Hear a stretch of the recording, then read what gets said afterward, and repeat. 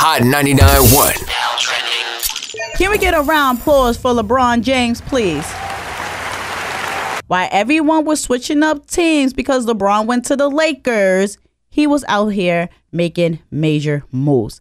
Recently, LeBron James just opened the LeBron James I Promise Public School. I can use my voice more than just for sports, LeBron says in a one on one interview with Don from CNN. Although LeBron James is one of the best basketball players in the world, his school will also focus on the academic education of students in Ohio, such as math, science, history, you know, the classes that we need in life that that's not so fun. Also, the school will have free tuition, free uniforms, free bicycles and helmets, free transportation within two miles, free breakfast, lunch, and snack, free pantry for families, GED and job placement services for parents, and guaranteed tuition to the, for every student who graduates. Now, the season didn't start yet, but LeBron James, you are the MVP. Don't forget to hit that ding bell.